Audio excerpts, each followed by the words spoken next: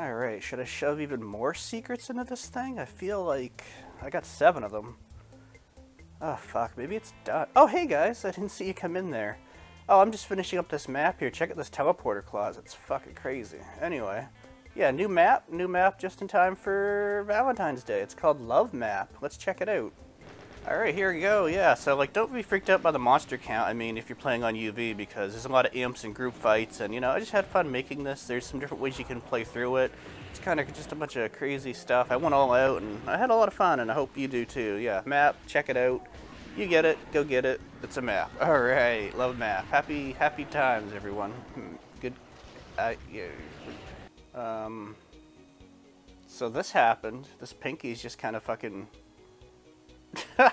I don't know why that that little legend is just okay. So yeah, I had to put a block, block, monster block line there, but the the map is is is definitely not broken now. It's totally good.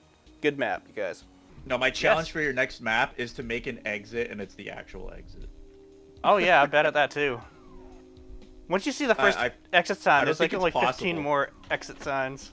I I'm pretty sure I made a map possible for once. I'm pretty sure I made a map. You think it happened?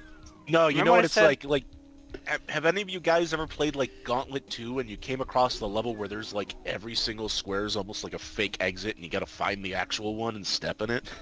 No. Alright guys, I can put a real exit in my map, check it out. There's one exit sign in this map, and this is the real exit, so yeah, I did it, you guys, so there you go. Check it out. Alright.